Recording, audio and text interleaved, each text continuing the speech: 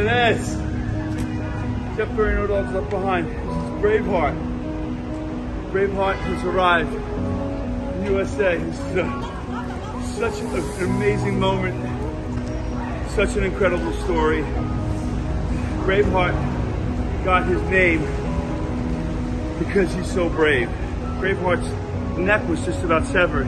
What the butchers do is they torture them by clamping them with wire around the neck. And most likely Braveheart escaped from the butchers.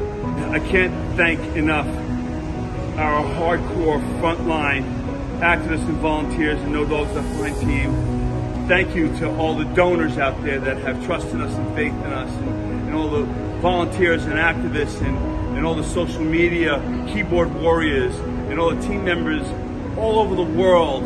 Randy and, and Deborah who, who fundraised and for her medical care.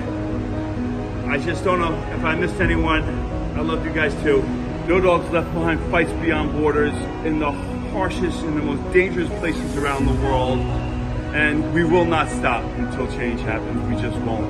No Dogs Left Behind continues to grow because of all of you out there, because of our endless work, 365 days a year. And we all do it because of this moment, moments like this. Braveheart, love you. You're here. And your mom is videoing this.